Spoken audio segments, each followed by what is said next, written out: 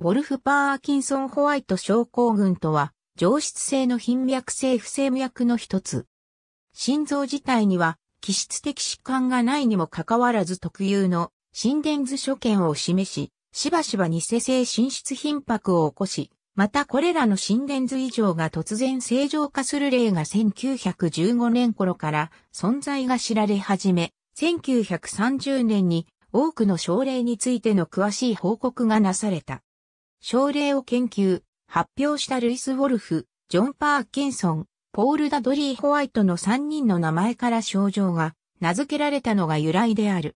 左側が通常の刺激伝導系、右側がウォルフ・パーキンソン・ホワイト症候群原因として多く挙げられるのは、ケント束と呼ばれる副電道路の存在によるリエントリー回路の形成である。通常は、コラボ結節から発した電気信号は、防湿結節、ヒズ束、足、プルキンエ繊維を経て心室へ伝達されるが、この疾患では、信号が刺激伝導系に加えて、ケント束を経由するルートにも伝わるため、発作が起きると拍動リズムが乱れる。発作時の脈拍は240回以上に達することがある。また、あまりに心拍数が速すぎるために脈を半分に取ってしまう場合も多い。多くは放置しても自然に収まるが、長時間続く場合は投薬により抑える。失神などの症状もある。また、ケントタバは心房筋と同じ電気生理学的性質を有するため、心房細同時に心室への過度の電動が生じ、特に心房細同時に QRS 間隔が0.2秒以内の例では、心室細動に移行することもある。ケントタバは、羽房室あるいは砂防砂質に存在するものがあり、稀に心室中核に向かう症例もある。羽房右室では、右室が早期に興奮するために、興奮の伝わり方としては、右室が先で左室が後となるため心電図波形は左足ブロック型となる。砂防左室では、その逆の右足ブロック型となる。正常な心電図の波形心電図上の特徴としては、下記の3点が挙げられる。デルタ波の出現、P 波の後に続く QRS 波形にデルタ波が生じてくる。これは、心室が早期に興奮することによる。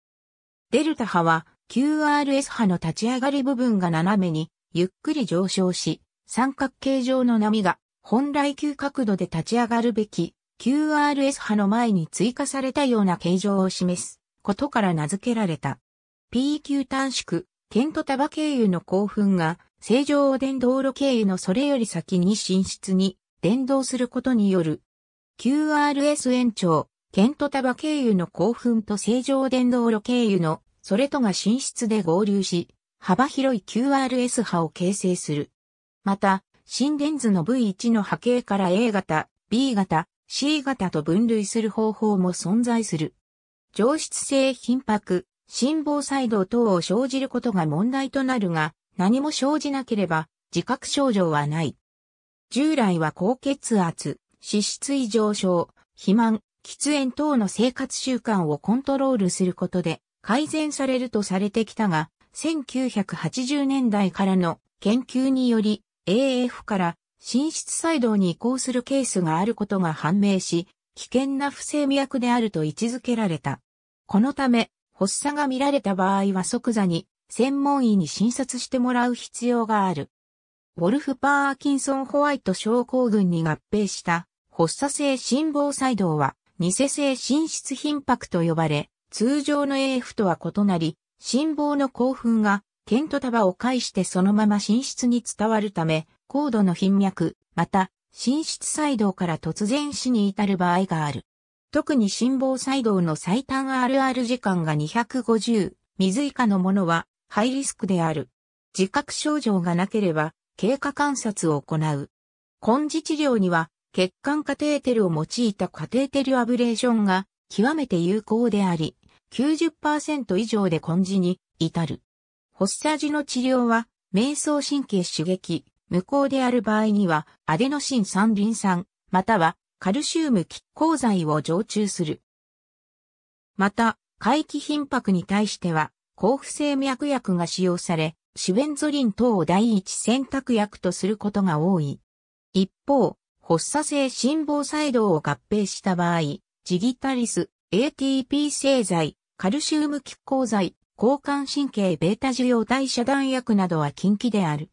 特にジギタリスは、剣と束の不応期を短縮させる一方、正常電道路をさらに抑制することとなり VF を誘発する可能性がある。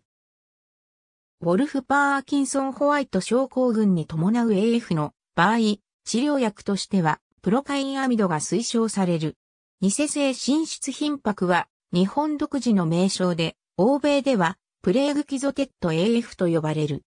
ABWPW 諸行軍、ハート先生の心電図教室、長田康瓶一枚の心電図から、最新の治療へ、ナンバー25日、雑誌2016-145、1448から1449。ありがとうございます。